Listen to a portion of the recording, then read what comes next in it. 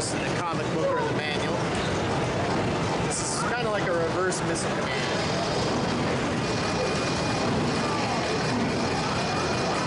Command in space.